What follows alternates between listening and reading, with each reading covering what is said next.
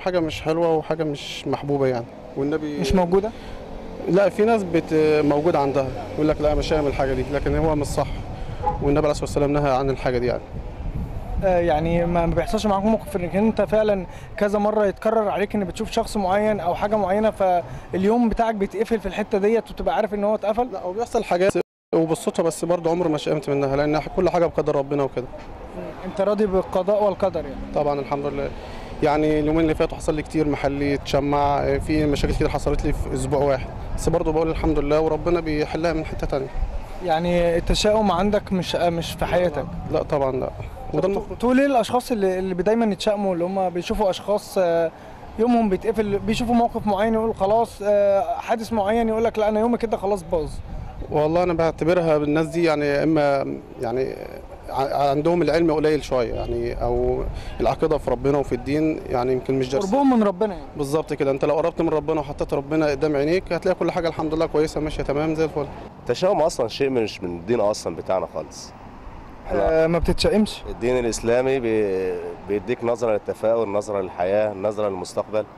لكن أنت بالنسبة لك ال- التشاؤم ده شيء أصلا مش مش مستحب. التشاؤم دوت أنت في ناس كده في ناس كده. بس انت بالنسبة لك مش مش حاجة مستحبة. وبعدين هو لو لو قريب من ربنا قريب من الد- من الدين مش مش هيفكر في كده. ربنا يقول لك إيه وتحسبوه شر لكم وايه هو خير لكم. تمام. يعني في ناس ب- ب- فعلا ب- ب- بيحصل معاها إن يقول لك لا ده أنا قابلت فلان دوت يا لهوي يومي مش هينفع. هو هو ده شيء ده شيء عندنا إحنا تعتبر عادة التشاؤم ده. بس هو حاجة شيء مش مش ما كويس بيأثرش على شخصية أو نفسية الشخص نفسه اللي بيتشائم ده؟ لو الإنسان شخصيته قوية ما, ما أعتقدش إن هو يأثر عليه. ولو قريب من الدين وقريب من ربنا ما أعتقدش إن هو يأثر فيه. لا مفيش حاجة اسمها تشاؤم. ده إحنا بننزل و- وكل زينا على الله. نتشائم ليه؟ يعني عمر ما حصل مع حضرتك موقف إنك أنت اتشائمت من حاجة معينة؟ لا لا لا. قفلت منها؟ لا لا لا. خالص خالص خالص.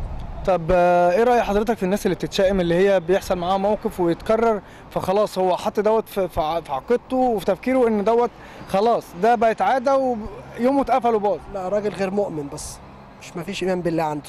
يعني التشاؤم دوت آه، حاجة بتنتج من عدم عدم القرب من ربنا؟ تعليم برضه وكده وبتاع مستوى العلمي وكده.